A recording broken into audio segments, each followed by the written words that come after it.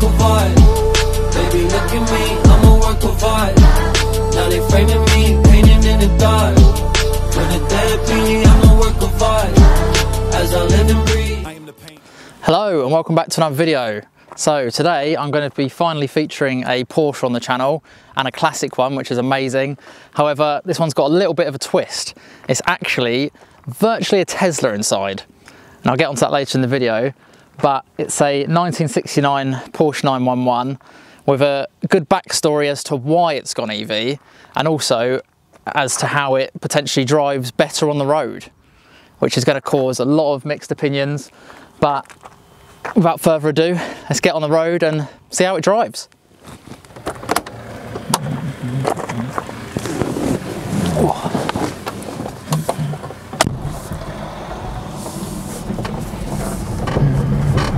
So here we go.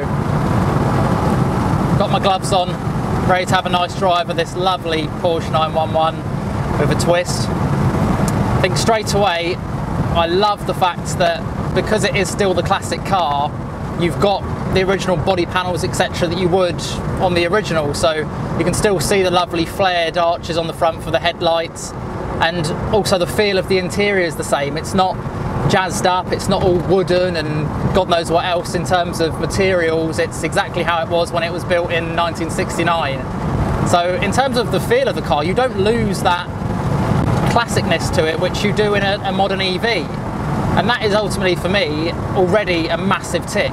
Because the thing I hate the most about a lot of EVs is they're so plasticky looking and they've got no shape to them. And obviously, with this car basically being a Tesla, I mean, look at the Cybertruck. Where's the design in that?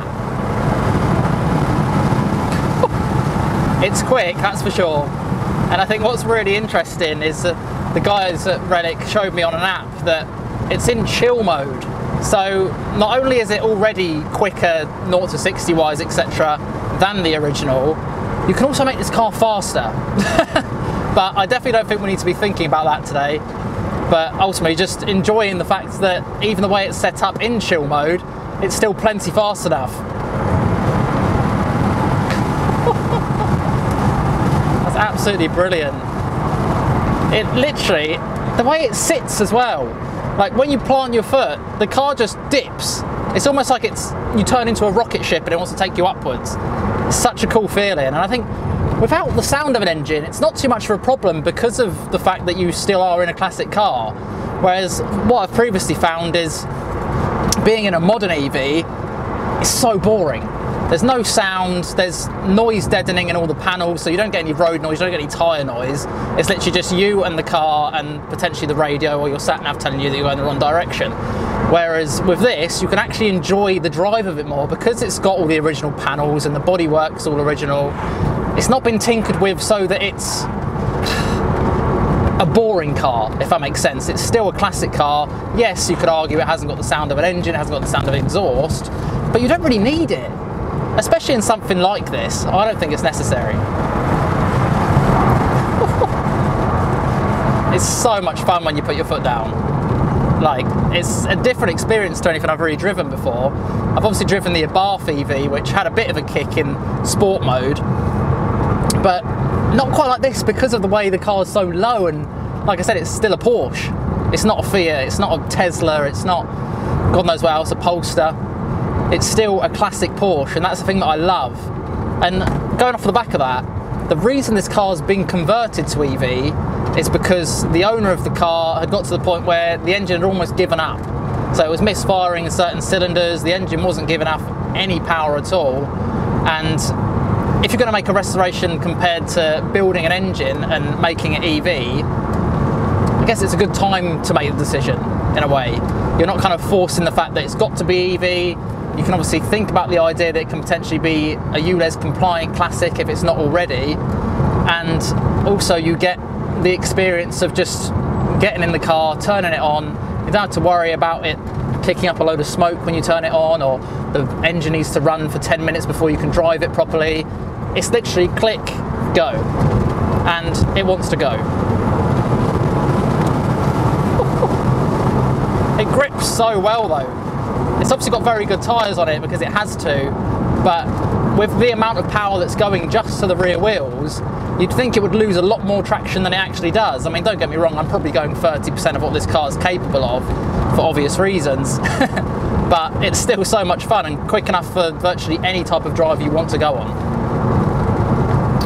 So the guys at Relik EV are the people that have converted this car and they haven't touched anything in terms of the external bodywork or kind of Restomod wise. It's all very original on the interior and exterior.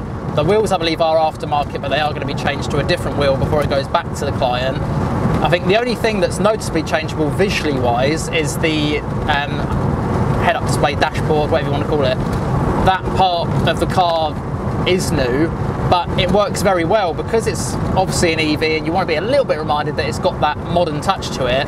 The modern dials actually work really, really nicely, finished in the same yellow as the exterior. But you've got your normal rev limiter, you've got your speedo, and then you've got your battery percentage as well as your clock, which are basically the same as what you'd have in the original car, because obviously you'd have the rev limiter, the speedo, you'd have the fuel gauge, not the battery range, but it's still a cool way to add it, and then your original clock. So it's very nice they've kept that fairly unique to how the car was. And apart from that, there's nothing really to say about the visual changes to the car. So, the EV side of things. Obviously, the title's a bit clickbaity in terms of a Tesla powered Porsche. However, it's generally got the exact same batteries as you'd find in a Tesla Model S. So, in terms of power output and all those good things, mileage and that kind of recognition that Tesla have in the EV world, it's basically the same, but it just looks 10 times better. and also, I'd imagine a lot of people more would appreciate seeing one of these at a car show than an EV. So it's got that debate of should it be EV because obviously everyone's very OG, like I want it to have an engine, I want it to be making noise, I want it to have those problems that I have to fix mechanically. But it's just nice to know that you can get behind the wheel of the car and not have to worry about those a little bit more. So, in terms of that, I think it's really mega what Relik EV have done. I think one thing I've just clicked on is I think the reason why I love this car so much is the fact that it still turns people's heads and it still gets that attraction that the classic car would. Because obviously, from a bystander's perspective, if you're just driving down the road, unless you're very vigilant to the noise it's not making, you wouldn't clock onto the fact that it is an EV. And that's probably the best thing because you want people to still appreciate the fact that it's a classic Porsche and that it's had all its heritage that it's had, it's had its ownership that it's had, it's done the miles that it's done. But the fact that it's still on the road rather than being in a scrapyard or in someone's garage, you're still able to use it and maximize its potential for its lifespan. So I think that's really a great thing that Relik EV have done to this car, really, because it'd be so sad to never see this car on the road again.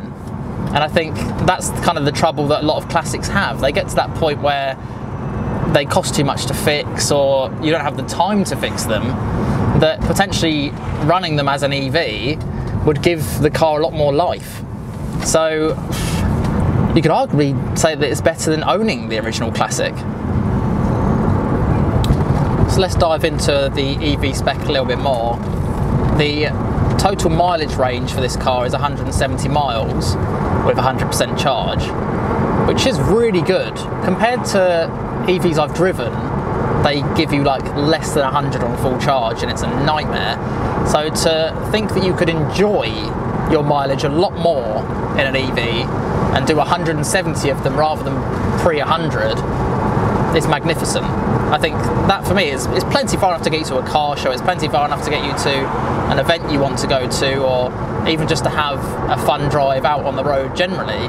So for me, that's mega. I love that. And then it's also got a fast charger. So 30 minutes and you're at 80% charge. So it's not even a case of having to charge it for hours on end or leave it on charge overnight to go out for a drive. Say if you wake up in the morning, you've got 10% battery.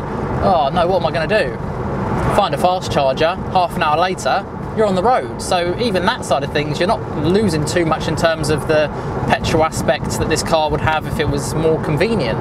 So yeah, in that sense, I've got nothing to moan about in those kind of terms. So here we go, my first chance to properly put my foot down. I've got a nice straight and a bit of clear traffic.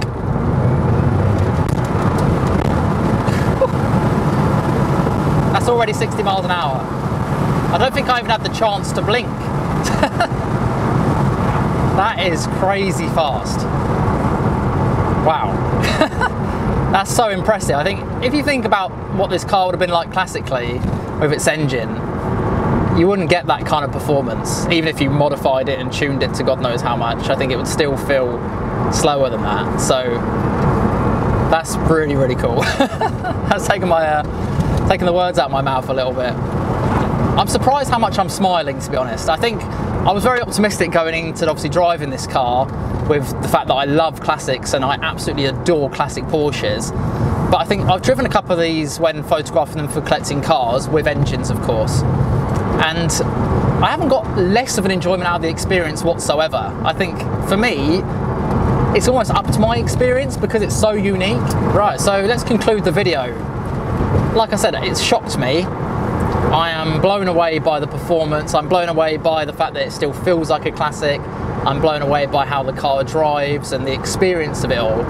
So for me, I, I can't fault it. Obviously, compared to other EVs I've driven that are brand new manufactured cars, there's so much more of a buzz from this than anything you could put me on in that's brand new. That's for sure. And like I said, it's got the appreciation still of being a classic Porsche, just with potentially more reliable dynamics.